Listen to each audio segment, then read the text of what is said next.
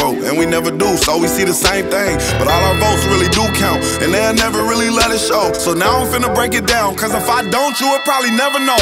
First thing first, you know back in middle school when they taught us, it was three branches of the government. We forgot it when we got older. It's the judicial, the legislative, and executive. But all we know is the executive. That's the mayor, or the governor, and the president. Now none of them three people make no laws, they just be checking them. The laws come to their desk, and all they do is say no or yes to it. So when the news station tried to tell us that Barack Obama couldn't put us on, we was all salty at Obama when it was the Congress members all along. We gotta focus on the legislative branch, yeah, they the ones that make the laws.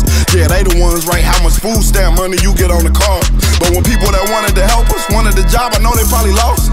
Cause we ain't even know their name, we ain't know their face, we ain't know it all. So the Congress or the State House, that's legislative, they make laws. So what we want from the president is what they do, okay y'all? See, they election every two years, but we don't ever even go to those. The Congress, they can raise minimum wage, but we ain't even really know it though. So you know how back in 08, when we all voted for Obama, we was all supposed to go back in 2010 and vote for the Congress. Cause they the ones make child support laws, they the ones choose if your kids at school get to eat steak or corn dogs. The State House make the court costs. So if the country failed, then you can't say it's them, it's your fault. Cause y'all ain't know to vote for Congress members that was for y'all.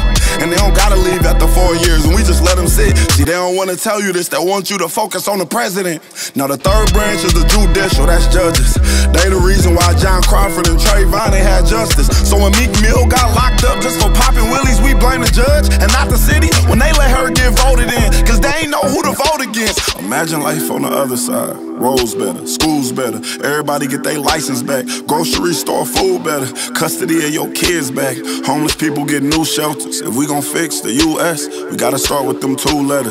Me and you. Somebody told us that the government wanna keep us broke. But the only reason why those people in the government is cause we ain't vote. And I ain't talking about the president, I'm talking about the ones we ain't know. See, they was gonna try to keep it low, but it's gonna hurt them when they see the pros.